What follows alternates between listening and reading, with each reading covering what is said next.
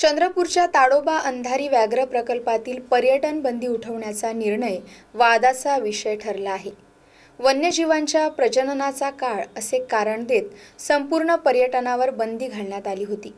मात्र आठ दिवसातच बफर क्षेत्रातील बंदी शिथिल करण्यात आली आहे. बंदी का घातली मागे का घेतली यावर स्थानिक समितीने नाराजी व्यक्त केली आहे. चंद्रपूरच्या जगप्रसिद्ध ताडोबा अंधारी व्याघ्र प्रकल्पात पर्यटन वाढीस लागावे यासाठी गेली काही वर्ष पद्धतशीर प्रयत्न सुरू आहे.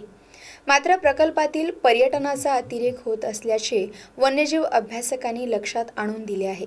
त्यामुळेच की काय यंदा प्रथमच ताडोबाच्या गाभा आणि बाह्य अशा दोन्ही क्षेत्रात तीन महिने पर्यटन पूर्णपणे बंद राहील असा आदेश वनविभागाने काढला होता.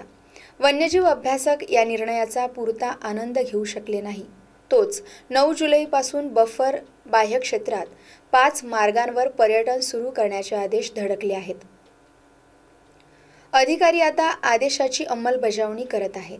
आम्हाला वरून आदेश जी आलेली आहेत की सोमवारपासनं म्हणजे आज दिनांक नऊ सात दोन हजार अठरापासनं आजपासनं आपल्याला बफर चालू ठेवायचा आहे. त्याच्यामध्ये जे पावसामध्ये खराब झालेली रस्ते आहेत ती बंद ठेवलेली आहेत आणि जी जाण्यायोग्य आहे पर्यटकांना कुठलाही त्रास न होता त्यांना पावसाळ्यामध्ये जंगलाचा आनंद घेण्याकरिता. तर असे आपल्याकडे तीन गेट्स आहेत आणि आजपासनं ह्या पर्यटनाला सुरुवात केलेली आहे. दरम्यान ताडोबातील वन्यजीव माणसाळले असल्याचे अनुभव सर्वांना येत असतानाच तीन महिने ताडोबात प्रवेश बंदच्या निर्णयाचे अभ्यासकांनी स्वागत केले होते. ताडोबात पर्यटन आणि वन्यजीव संवर्धन सूचना देण्यासाठी एक स्थानिक सल्लागार समितीचे गठन करण्यात आले आहे. याची बैठक रखडली आहे. या समितीतील सदस्यांना अंधारात ठेवून ताडोबा प्रशासन सर्व निर्णय घेत असल्याचा आरोप समिती सदस्यांनी केला आहे. मागील अनेक वर्षांपासून ताडोबा हा पावसाळ्यामध्ये बंद राहायचा. ताडोबा हा असा एकमेव सँक्च्युरी याच्या अगोदर होता की जो पावसाळ्यात सुरू असायचा.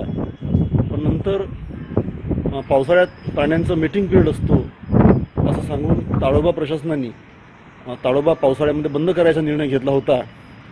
परंतु सडनली आत्ता नागपूर विधिमंडळ सुरू असताना पुन्हा त्याचा पार्शियल पोर्शन जो आहे हा चालू करायचा निर्णय जो आहे हा निर्णय प्रशासनाने घेतलेला आहे.